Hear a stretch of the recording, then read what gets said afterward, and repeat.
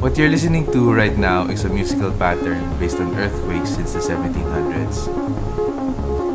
Every blink of the top LED represents a day. The second LED blinks if an earthquake was recorded during that day.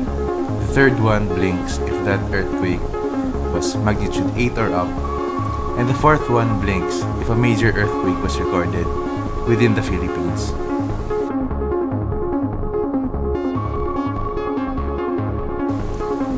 My name is Benjie. My background is in computer science and geoinformatics. I currently work for Project AirMove. It's a DOST funded project based in UP Diliman.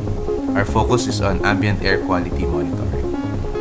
For this show and tell, however, I will be talking about another very special interest of mine, which is music. This is my modular synthesizer system. I built it myself. You can think of it as your typical electric piano or synthesizer, but with its parts broken down into individual modules that I can swap around and modify.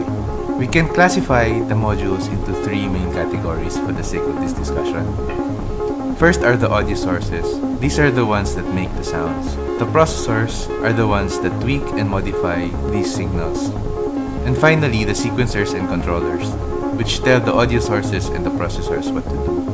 The module that I'll talk about is called Oras. It's a sequencer that I designed that takes in a text file and uses the data in that file to produce a pattern. We can then use that pattern of signals to trigger events such as a drum hit, or a bell, or a piano key press per se. In this one, I made a beat using what's called a 5 to 4 to 3 polyrhythm. That file looks like this. One output goes off every 5 beats, the other every 4, and the third one every 3.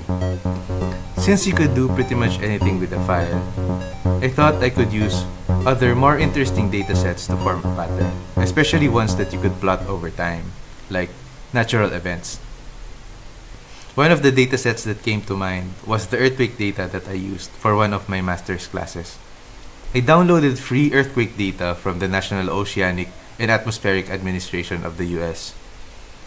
I then used Jupyter Notebook and Pandas to prepare it for my synth. This is what it looks like. First, we import the essential libraries that we're gonna use later. I downloaded the data manually from the US NOAA site. I then read the CSV file and loaded that into a data frame. I checked the columns. I also checked the location data. So here we see the that the data is represented in a well-known text format. I do some basic data cleanup. So I remove rows with no dates. Uh, I make sure that the numbers were parsed correctly. So uh, I make sure that years are represented in integers and so on.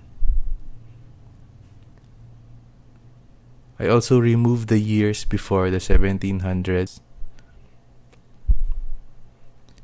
And then I, I create a new column called date. I make sure that the date column is an actual Python date object. After cleaning up the data, I can now do some filtering. So the first one that I did was to extract great earthquakes, which are those with magnitude 8 or up. I use a polygon that represents the bounds of the Philippines.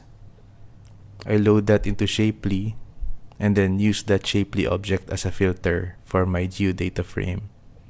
I use the intersects function for that. With that, I get a list of all earthquakes since the 1700s that are located within the Philippines. Finally, I loop through each day since the 1700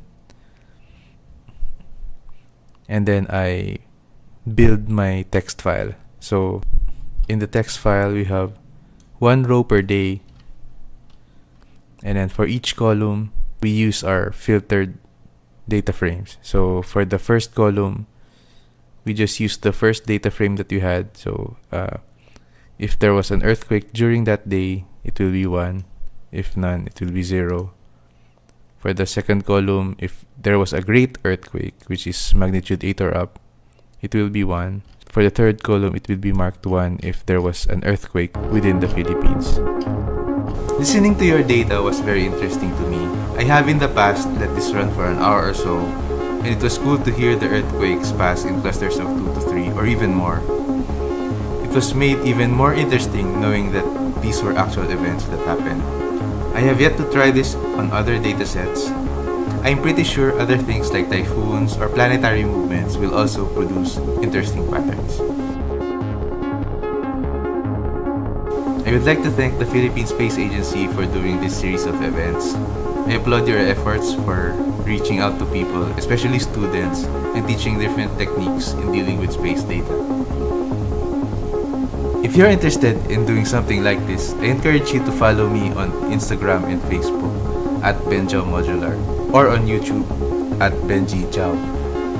I post a lot about synth DIY and other making stuff such as 3D printing. Thank you very much for watching. I hope I somehow was able to demonstrate that data can be musical too.